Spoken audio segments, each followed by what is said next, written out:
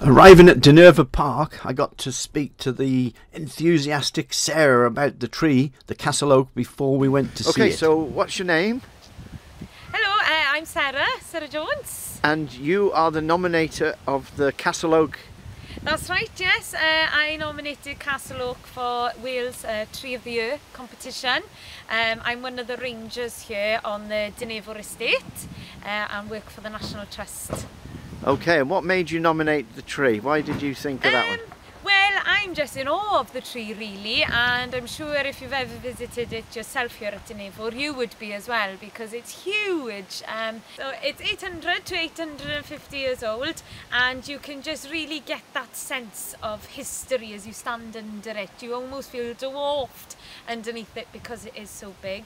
And just think about what is witnessed over the years. It's in the shadow of Dinevor Castle so it probably witnessed you know people living in that castle and of course our white park cattle that we have here Uh-huh. has grazed under it for a number of years. I wonder if it's old enough to remember when England had a football team.